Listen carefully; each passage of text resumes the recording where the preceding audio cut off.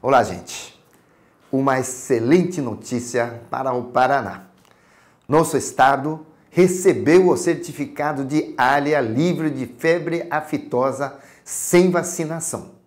Esta é uma conquista para todos os paranaenses e resultado da coragem, trabalho e determinação de todos nós, do governo estadual e do governo federal, que num trabalho em conjunto conseguiram o reconhecimento pela OIE.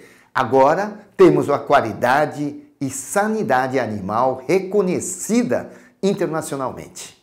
Em Brasília, participei de muitas reuniões importantes na questão de exportação de nossas proteínas animais, também sobre o futuro do nosso agronegócio e em reuniões para a liberação de recursos para nossos municípios. Nosso trabalho não pode parar. Parabéns, Paraná! Parabéns, Brasil!